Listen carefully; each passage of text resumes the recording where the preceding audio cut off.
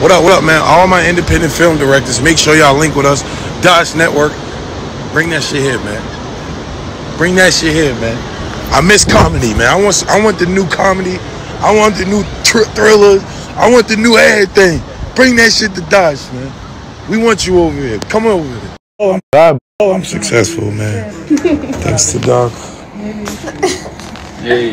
Yay, it's a party. I'm safe. What's poppin', y'all? It's Flock. I want to announce to y'all that I'm now a partner and owner at Dosh Network. So you know this TV and online streaming, ah, it's becoming a bit too cliche.